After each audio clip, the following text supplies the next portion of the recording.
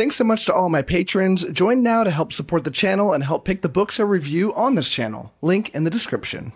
Welcome back, everybody, to my top 100 countdown of my favorite fantasy novels of all time, from number 100 down to number 1. Today, we're going to be going through numbers 70 through 61. Uh, if you want to catch up with the series, if you haven't done so already, uh, click on right here. You can go back and watch the previous videos so you can catch up to see what you've missed before now. So, without further ado, let's jump right into number 70, and that is Before They're Hanged. This is the second book in the original First Law trilogy by Joe Abercrombie, uh, and this was published in 2007. Uh, so I think a lot of people are familiar with the First Law universe. Uh, it is one of the more popular uh, fantasy series that have come out in the past 20 years or so uh, for a very good reason. And it's kind of defined, I think, the more modern, grim, dark sort of tag that you put on book, uh, put on books. Even though I think Joe Abercrombie would disagree with that tag, uh, it definitively is uh, is part of that. And I think in general, what you're going to find is that a large amount of people are going to have this book before they're hanged, uh, the second in the trilogy, as the worst of the trilogy. Now, some people may say the first one's worse, uh, and pretty much everyone's going to agree the last one is the best. Um, and I agreed with that um, that principle that the second one is the worst when I read it the first time. Um, you know, there's some problems with it. With the pacing, I mean, the pacing feels odd. Uh, you've got these characters that end up going on this really long journey, which is only part of the book, and only some of the POV or one of the POV characters goes on this journey. Uh, but a decent amount of the book is involved in this journey, and it, without spoiling anything, the the res- what results from that journey is not what the reader would come to expect or enjoy. Um, it's almost done intentionally to make you not enjoy it. And I know it's a grimdark book. You're not really supposed to enjoy things in them, but I find myself enjoying a lot of things about grimdark because I like the unexpected nature of that uh, and the realism of characters that you feel like act like people would normally act in those kind of situations, uh, and a lot of shades of gray. There's so many good things to love about it. Um, but I, I, agreed that the first time reading this, it was very uh, underwhelming. What uh, what resulted from this from the second book is in the pinnacle part of the book. It just felt very like it took the winds out of it. But the second time reading it, um, and that's the reason this shows up on this list because I don't think it was in the last time I did my top 100 list like two years ago. Um, I found so much to love about it because you no longer have that moment of like, okay, what's going to happen and then get underwhelmed. You know what's going to happen. You understand it. You appreciate it for what it is. And it makes rereading this just immensely, immensely better. Um, in general, in these books, these are just wonderfully crafted, darker books. The audiobook narration to all of these books is the pinnacle of fantasy literature. It is like the greatest thing that could exist. Steven Pacey just knocks it out of the park. And to get such a wonderful script that uh, that you'd have from somebody like Abercrombie matched up with the best audiobook narrator in the game just turns into something truly special and something that everybody needs to uh, needs to check out. So yeah, don't sleep on this one. It is wonderful. I know the ending kind of sucks the first time, but there is a reason for it. It all makes sense, and you just got to ride it uh, and figure out what Joe Abercrombie is trying to trying to get you to figure out here. Uh, so, without going too much further into this video, um, I do want to mention something kind of serious to me. And so, recently, I, I googled myself um, just a few days ago, and I was shocked at just how much of my personal information is out there for anybody to see. My full address, uh, my phone number, where I work, and even my exact salary. And this is all like it's all correct and it's kind of freaky. Um, you know, it's all right there on the internet for people with bad intentions to take advantage of. This understandably makes me feel rather unsafe and completely opens me up for phishing attacks and huge amounts of spam. And that experience is exactly why I started using Aura, the sponsor of today's video. So Aura shows me all the data brokers that are selling my private information and automatically submits opt-out requests to get my data removed. Uh, this makes me way less vulnerable to phishing schemes, identity theft, and annoying robocalls and spams, and it does it in a way that I don't think I'd be able to figure out myself, um, which is is the beauty of this. It doesn't just save time. It actually gives you a service that you can't do by yourself. Uh, but Aura does so much more than just data broker opt-outs to keep me safe online. I also get dark web monitoring, fraud alerts, identity theft insurance, a VPN, a password manager. It's like an all-in-one cybersecurity toolkit. So instead of me having to sign up and manage a bunch of separate apps and I'm spending a ton of money, with Aura, I get everything I need to protect my privacy at one fair price. So head on over to aura.com slash fantasybook to start your two week free trial and see if everything that Aura can do to keep your personal information safe. I have the link down in the video description as well, so click on that, check it out. You know, with scammers getting craftier every day, Aura gives me that extra layer of digital defense I want for complete safety and privacy. So, with that out of the way, let's jump right back into the list with number 69, and that is The Shadow Rising. This is the fourth book in the Wheel of Time series by Robert Jordan, and this was published in 1992. Um, so, I read all these obviously chronologically, and at the time, it's not the case anymore, and you'll find out later in this video, but it was the best book in the series uh, at that point, and I, I, I believe I rated them all better than the previous ones, which is just such a beautiful way to start out your series when every book is better than the one preceding it. Um, and I didn't think that possible because of how much I truly loved uh, the third one in the series, The Dragon Rising. Um, and I just found this one for the first time highly enjoyable from start to finish. I had problems with some of the other books, not major ones. I, I really liked them all. Um, especially the first one I had some problems with. Some in the second, very few in the third, but none in this fourth one. And that's just awesome. It is the hallmark of a great series when the books continue to get better and better as they go along. And while that's certainly not possible uh, through all of these books, because we certainly get a slog here, the quality does not continue to rise, nor would that ever be the expect- expectation for an enormous series like this. You know, it, it's certainly certainly just a, on its own very unique that every book is better than the last, and even four books. It's just very rare for that to happen. I mean, another one I can think of that happening, at least for me, was uh, The Faithful and the Fallen by John Gwynne, and we'll hear about those books later on. But yeah, this book is fantastic. It hits all of the right notes. You know, for me, this is where I really found myself falling in love with the series. Um, you know, I really liked it up to that point. I was fully in love with it later on in the series, but this is the moment where it's like, man, this is really something special. You know, I, I was a bit weary you know that this book went down the path of splitting up all the characters and having a bunch of mini stories within the larger book. Something that i didn't love that executed in the lord of the rings. I felt like they spent too much time on individual characters and characters would like disappear for a whole book.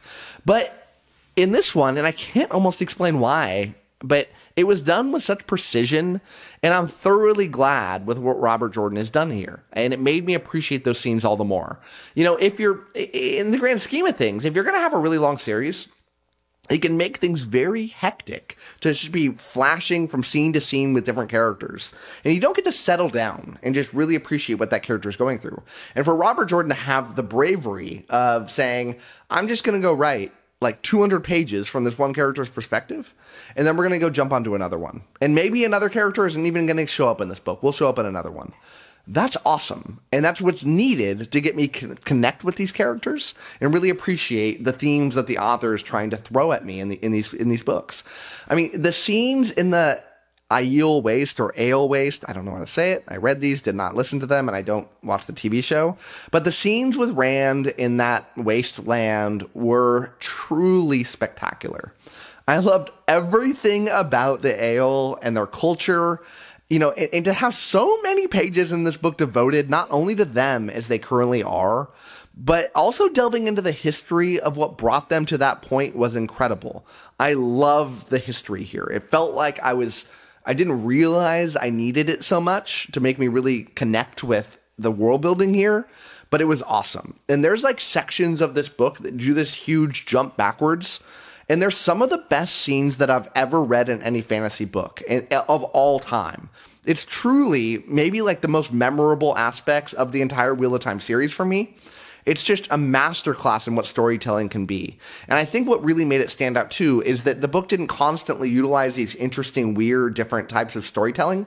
It saved it for the fourth book to then say, like, oh, look what I can do. And that is just cool.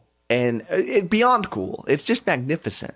You know, as soon as I figured out what was happening and why, it was literally jaw dropping. And it's extremely special to me as a reader. You know, I, I also like thoroughly, thoroughly enjoyed the Perrin sections involving the two rivers. And without spoiling anything, it's a wonderful like side quest that hits all of the emotional tones perfectly. And it does a great job at developing Perrin as a main character.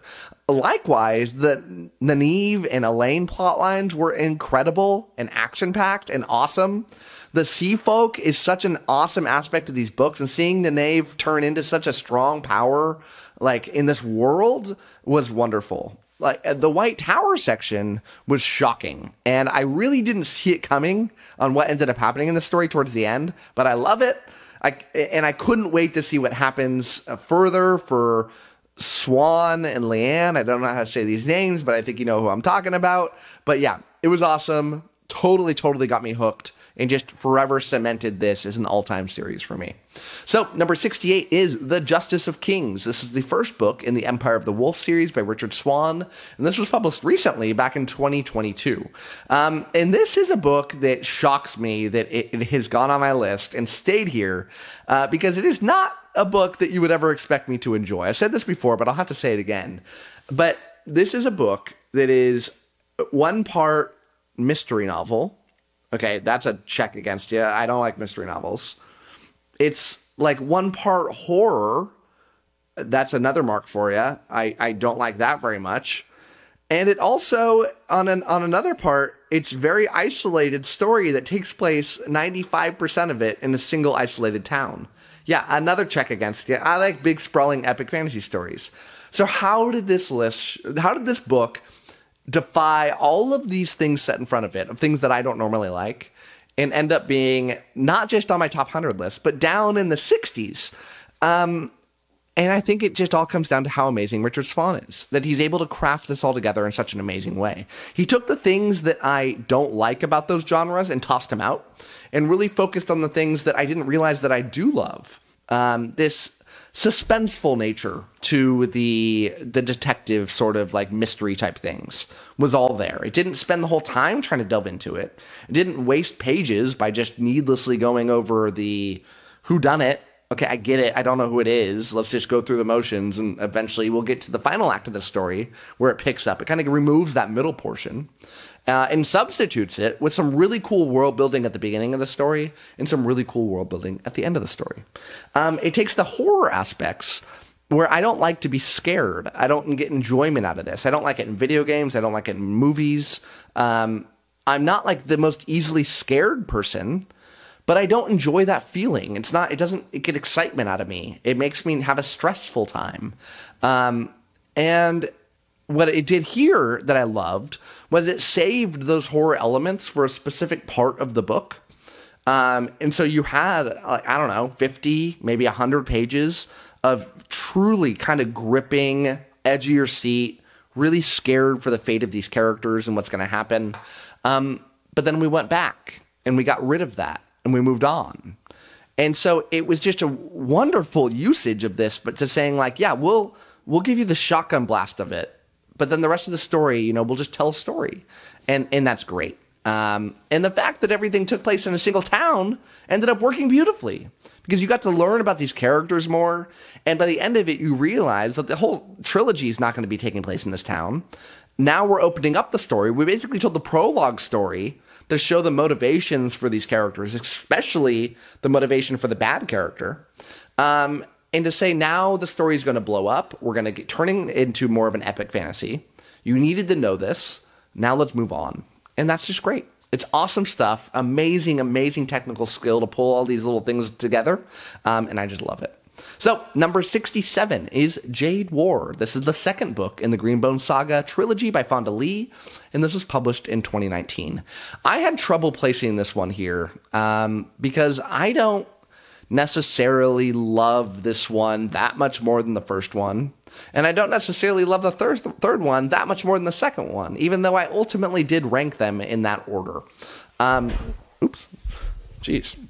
Getting aggressive here, uh, talking about books. um, but it's. Uh, I think ultimately there's a few things that happen in the third book that make this make that one kind of stand in a different, you know, different level than this one. And I'll talk about those when I get there. Um, but also brought up the tension to a better level. I'm already familiar with the characters. We got to jump right into the plot. Didn't have to do this build up time period that the first book had to do, which first books most of the time have to do, unless you've got some really interesting writing skills like a Steven Erikson that can just go like, all right, and we're off to the races. Um, but this one built it up like almost every fantasy book does in the first one. But here we just got, we know the characters, we love the characters, we hate the characters, we sometimes love and hate the same character. Um, and now we just get to go. And it's great. I love the Greenbone Saga. Um, you know, this is one of the best series that's come out in the last handful of years. Um, I, I, think this woman Fonda Lee is is is truly gifted, and you know I don't know how much it's going to translate into other books as we go along. Because part of the reason that I loved this one was the was the specific genre that it was, and the fact that it knocked that genre out of the park. This is a fantasy mafia story set in Asia or a made up Asian inspired land. And that is so cool to me. You know, it's so awesome. The concept, now executing it is a different thing, but she nailed that too. I mean, the fact that she's able to, I, the character work in this one really stood stood apart um, from the normal fantasy book. I, and the depth of the characters and the changes that the characters have to go through especially one of the characters. I don't want to tell you who. If you think if you've read this book, there's a moment in this book that'll just shock you. It'll go like, "Oh, that character is different than I've been leading on." And it did that beautiful thing that I love in books where the author kind of tells you who a character is in their core. Um, and then you kind of forget about it because you see these other sides to them. Uh, but then they, the author goes back and goes, "No, this this character is like that." And I wasn't lying to you. You just didn't see it yet. And then you're like, oh, yeah, the stories are true. Awesome stuff. Great writing techniques. And yeah, funnily awesome, awesome, awesome. Check out this trilogy if you like anything involving mafia stories.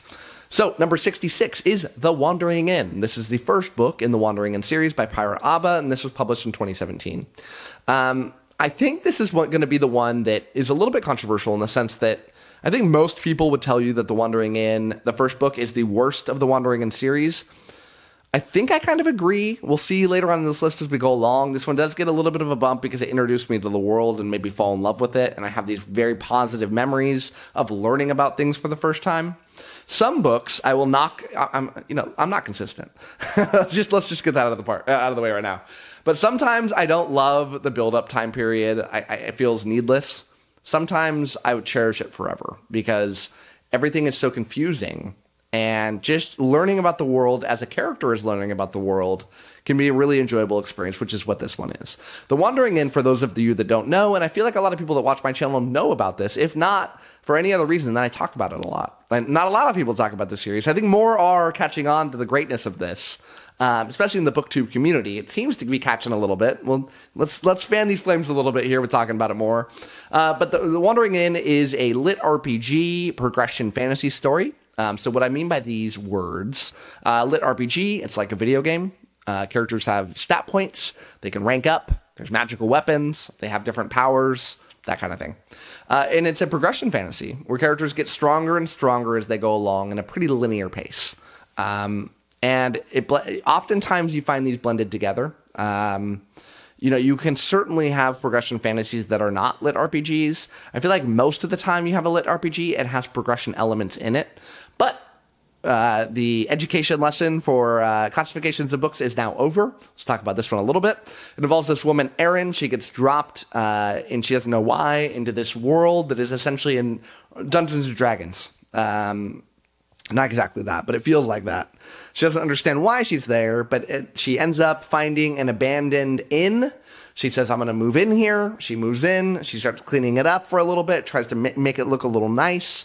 She goes to sleep that night, and in the middle of the night, she gets a notification that says, You've ranked up your innkeeper class. Uh, you've been assigned the innkeeper class. You've ranked up. You have these skills. And she wakes up and goes, What just happened? The reader goes, What just happened? And she's trying to figure it out that's a really fun concept to me. Um, and it's not just the concept though. The characterization work is great. Um, you know, the world building is almost in a tier of its own in terms of how grand it gets. Um, this is the longest fantasy series of all time.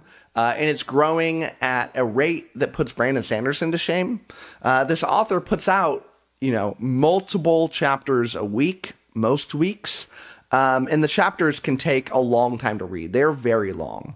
I mean, this, nobody is as prolific as Pirateaba is. Uh, it's truly special. If you want to find out more, if you're intrigued about this author that has this made up name and conti- continues to protect their anonymity, and you want to find out more, I did an interview with Pirateaba. Uh, you'll have to figure out if you don't know, haven't watched it yet. You'll have to watch it to figure out how I pulled this off. Uh, click up here. You can watch that interview. It's highly entertaining, uh, if I may say so myself. Uh, it's just one of those videos. A lot of times I'll make a video and I'll go like, I don't know who's watching this. People watch it and I go, why? That's great. Thank you. I wouldn't have watched it, but that's cool that you did. Uh, the Wandering Inn one is one of the few videos that where I was like, oh man, if somebody else made this, I would have devoured it. Um, I'm also a big Wandering Inn fan, so that has something to do with it. But yeah, check it out and check out this book. Check out this series. It's awesome and it's free on uh, on the website. You can buy the books for super cheap, like three dollars per book for a huge book on uh, on Kindle. You can only get them on Kindle right now, um, but uh, or ebook. But yeah, you can get them on free on the website. The whole thing it catches up to now free if you want to just read on the website. So check that out. All right. So let's move on to number 65, and that is Valor. This is the second book in the Faithful and the Fallen series by John Gwynne. This was published in 2014. So it is, and we talked a little bit about this uh, at this point in the video, but it's uh, extremely common for me to score the first book in a series as a five, uh, and the second book is a four. Um, oftentimes that doesn't happen, but a lot of times it does. Uh, there's something about initial books in a series that really captivate me by showing me this new world, like The Wandering Inn just did, and letting me explore it during the first book. But even though I already know this world, Valor delivers in spades. The pace of this book was extremely well done. And by pace, I mean the author says, like, let me go throw the pedal to the metal at the beginning, and I'm just gonna keep it down there. and that's that's great. I don't love it if every book does this, but every now and then to get a book that's just willing to say, yeah, for the rest of the series, we're just going for it. Look, I'm here for it. I, I, if I read every book like that, I would just get burnt out and I'd knock off a lot of years off my life with the stress of just reading all the time. But every now and then, it is awesome. So yeah, the pacing was awesome. The stakes felt higher than ever. Uh, the twists felt appreciated and earned. I love it when a twist is earned, and what I mean by earned is when it happens and you go like, ah, yeah, I should have put that together, or uh, yeah, I was kind of figuring it out, I didn't. You brought me there. Good job. Uh, when a, when a twist is not earned, it's like the author just goes, "Oh yeah, and this happened," and you're like, "What? How? How would I have ever figured that out? Why, what was the point of reading this?" I want the author to treat the reader as if they're a little dumb. Uh, I like it when an author does that sometimes and goes, "I'm going to lay out all the hints, and uh, you're not going to figure it out." And I, I just love that, and it makes the rereading so much better. I, I, mean, this book felt somewhat similar to A Song of Ice and Fire to me, in that there are like these many different point of views, and the scope of the story feels similar in, in the grandness of it. Not overly grand, but just the right tightness of grandness. You know, it's not the same thing as A Song of Ice and Fire. Nothing is. Nothing's the same as anything else, except unless you're first binding, just completely copying uh, The Name of the Wind. Uh, but everything else has something unique about it. Uh, but it's you know, it feels like fans of A Song of Ice and Fire will probably enjoy this one as well for some different reasons. But I think, in general, I think there's a big crossover here. You know, a core difference for me, though, and I say this as someone who loves A Song of Ice and Fire, is that every single point of view in this book is interesting. Now, I, I, I do think I like A Song of Ice and Fire. I don't know if I like it more, just as much. Um, but I remember in A Song of Ice and Fire that I would sometimes get to a point of view character and I'd, want to hurry up and get through to the next one. And that's just not true in this series. Um, yeah, it's awesome. Awesome, awesome, awesome. The battle sequences in this book are just truly masterclass. That is always true for a John Gwynne book. All of his battles are amazing. They're like the best you could ever do because he's like the best person in the world at writing battle sequences. So if you like that kind of thing, if you like fast paced, if you like multi POV, check out Faithful and the Fallen. Um, all right, number 64. And this is a new one to the list, entirely new. It's not moved around at all. It has made it here for the first time, and that is at number 64, Son of the Black Sword. This is the first book in the saga of the Forgotten Warrior by Larry Correia. This was published in 2015. This is one of those books that showed up on my Patreon raffle wheel, and when I got selected, I went, ugh, internally, uh, because I was not excited to read it, because the cover looks ludicrous to me. I hate the cover. I've never heard of it before, never heard of the author before, and that usually spells a bad book. Now, sometimes it spells an amazing book, like this time. But most of the time, that's not a good recipe for somebody like me. Uh, and I was just blown away. I mean, this thing rocks. It, it, really, really rocks. Like from the first few pages, I was in, and it was this. It was one of these moments where I'm like, I know I'm not to love it, but these first few pages are great. And I kept reading, and I was like, that first chapter was baller. I loved it. And then I got to the second chapter, and it moved like time periods to a new time period, and I was like, all right and I read it and I was like, that was amazing. And I kept reading this book and I kept having that feeling. And at a certain point in the book, I was like, yep, this is dope. This is really good. It's not going to go downhill. I can't wait to evangelize this book for everybody because most people haven't even heard of this book before, let alone read it. Um, but it's just great. Uh, I can't even explain too much about what it's about because of spoilers, but it's got this crazy innovative world building where you've got these uh, these characters that like the world has devolved into a totally master class of people that keep the rest of the people in essential slavery and they don't even realize it. It's part of this crazy caste system. Uh, you've got this separate people that are the the I don't know what the name is, uh, but they're a group that protects everybody else from these like eldritch horrors that come out of the water and attack people that are getting more frequent as time goes along. There was a battle a long time ago between good and evil, and the good people won, and they pushed out all these evil creatures into the oceans. So the oceans is somewhere nobody will ever go. Like you never want to live on the ocean. And now people, like the poorest of the poor, have to. But it's like the opposite of what we think of. Because I look at the coast and I think like million dollar households way more than that. I live in California. like million dollar households can be like in the middle of like a lame little house in the suburbs. Um, but it, here it's like it's the opposite. And this group of people has to go and like defend people when these monsters come through. You've got this guy who's got this black sword that is crazy crazy powerful. And learning about how he got the sword you do these moments where you go back in time the drama he gets uh, he gets wrapped up in this self like this crisis of self that he has to go through this amazing journey the darkness of the book the amazing themes that go along with it the great writing. It's per, it's it's one of those books that's almost like perfect. I love it. Larry Correia himself is a little bit more of a controversial figure. I found out since.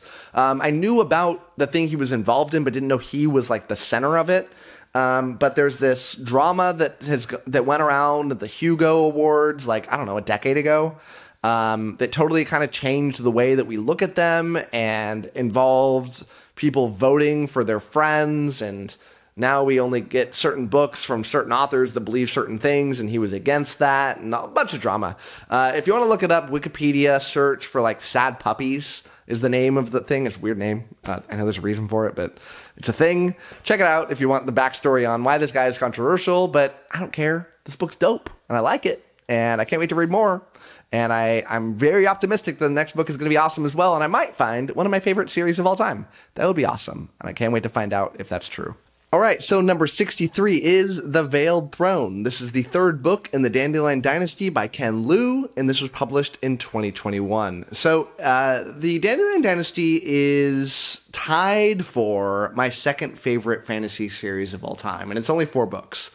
Um, and the other three are way higher than this one. This is the one book that is a little bit downscored from the other ones. But to have my least favorite book from a four book series be my 63rd favorite book of all time uh, is bonkers. It, it, truly is. I, I mean, this series is just so amazing. Uh, in general, this series can be uh, described, I don't know about easily, I'll do my best. But the first book, you've got this uh, crazy fast, action paced, historical type book that tells the history of this uh, major conflict it, eh, that happened in this world that totally um, changed the way this whole world is, is governed, and it shows essentially the rising of power of a of a new power in this world. Um, and the second, third, and fourth books tell a new narrative story that involve a, an invasion of this world um, or of this continent and the war that happens between these two different nations. Um, and this is the third one in the series. I, I loved so much about this book just the world building, the characters, the perfect writing that Ken Liu uh, is able to pull off in this book uh, from a writing technical perspective. The one thing that held this book back from it being one of the all time, like, top of the top of the top was there was a large amount of this book, not, not 100 pages or so, but more than that, that involved these characters that you don't feel like have a central point to the story involved in what I can only describe as a master chef or an iron uh, what is it? Iron chef like parody. And it's like these two different restaurants decide to battle each other in a formal competition among three different categories um, of like taste and service and ingenuity or something. I don't remember what the third one was. Um, but it's like a lot of pages back to back to back, only dealing with that concept while they while they figure out like this who wins this one competition. It goes and tells this other story. It comes back and then it's like, all right, let's do another fifty plus pages of this next portion of the of the competition. And even upon finishing this series, it didn't feel like it was super needed. Felt very strange. It's like the one part of the book. It's like, why was that there? Am I too dumb to figure it out? Probably. Um, but I, I still don't understand it. It a lot of people talk negatively about that part of the book. Some people will obviously, because everybody can find wonders in something, will say like, "Oh no, it, you know, perfectly illustrated the, you know, the connection between these themes and these other things going on in this other part of the world." Yeah, it didn't make sense to me. So that's the one thing that held it back. But yeah, absolutely perfect series outside of this you know, couple hundred to 200 pages here. Um, but yeah, awesome stuff. Love the book. Love the series. I know I didn't really say much positive about the book, but I'm going to spend a lot of time talking about the Dandelion Dynasty later on this in the series. So stay tuned for that. All right, uh, almost done with today, and that is number 62, and it is The Bone Ships. This is the first book in the Tide Child trilogy by R.J. Barker, and this was published in 2019. So the Tide Child trilogy is one of the few trilogies uh, that I've given five stars to each of the books. I found this one to be not as good as the next one and a little bit better than the third one. Um, it didn't need to do that slow build up that a lot of first books do. It kind of brought you right into it. It had probably like 20 pages of here's the character, here's why they're here, and let, us meet this other main character, and now we're off to the races. Um, it's a story about a ship captain who captains a this black ship that is only used for people that are either convicts or down in their luck, and they work the ship till they die, and they have to be on it in service of their of their kingdom. And this guy is such a horrific ship captain that I don't even think he's been out to sea when this has happened. Him and his whole crew are just on land, drunk as can be, and he's just atrocious as a ship captain. This woman shows up, and she is a badass, and she takes over the ship very easily, whips everybody into shape, drafts the former captain to be her number two, and the entire point of view is from this number two character, which on its own, I love that literary device where the main character is not the point of view. We get things from a backup character.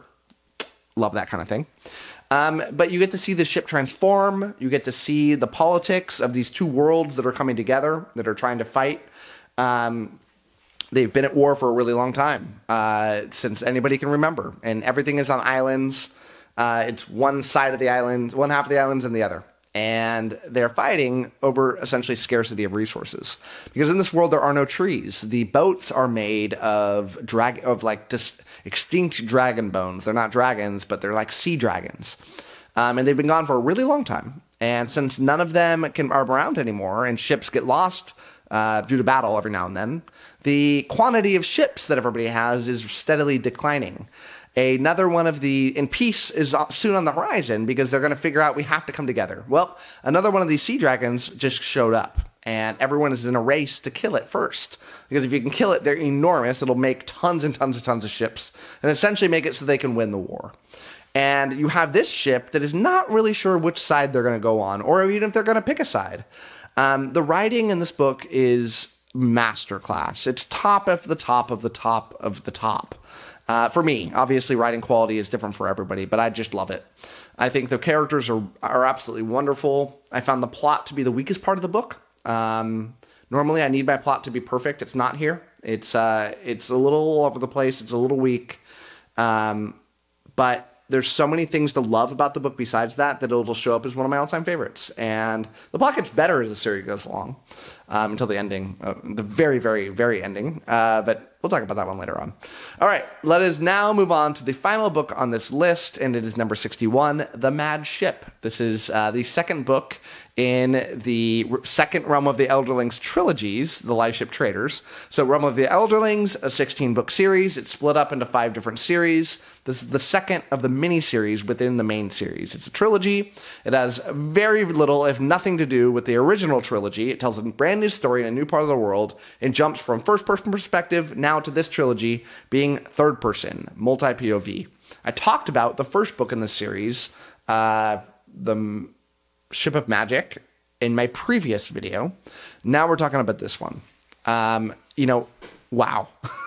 I, I just loved everything, everything about this book. Uh, and I just, I think I was shocked when I first read this how it took me so long to get to this book. You know, I hadn't heard anything super popular about this series. You know, I knew about the series. I knew the, that Fitz the main character from the first trilogy is like an all time favorite. I know those storylines that involve Fitz are like the best. This one's like an offshoot, this totally different thing. Um, and so when I came around to reading it, I was just wowed. I mean, I had no idea how much I needed a fantasy pirate series in my life. Um, and I'm like simultaneously saddened um, and glad but I'm sad because it, I'm probably never gonna read another fantasy pirate book that can be better than this one. This is like the pinnacle of fantasy pirate books, and it's one of the first ones that I've read. I've read things since then, but this series is just like takes it to a new level.